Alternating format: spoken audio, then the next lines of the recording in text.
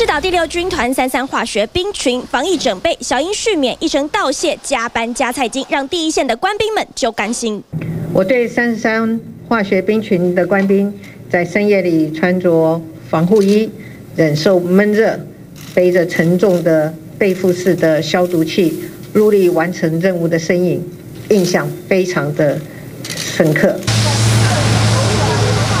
服装，从防护服到绿毒面具，化冰群准备 SOP，指挥官一一介绍。重型消毒车登场，背负式消毒器，到实际演练，站救护车前喷洒。国军操演卖力，三军统帅也看得入神。而细数三三化冰群，总计超过两百人次投入防疫作业。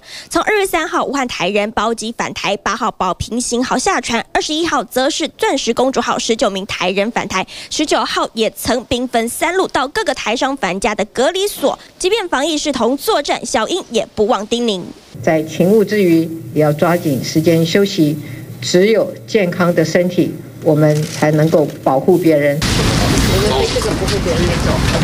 接连参与防疫作业，花兵群中也有亮点。短发大眼真消营的一员，年纪轻轻的静文亲自画画让小英签名。重达三十五公斤的背负式消毒器，也让总统不忘慰问几句。而十七年前就曾参与 SARS 的指挥官，也以自身经验再次投入。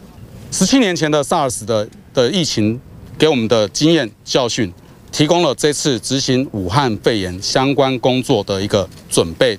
新冠肺炎疫情升温，国军全力奋战。小英下令防疫滴水不漏，因为看不见的敌人更得防范。记者李梦昌、魏文轩桃园报道。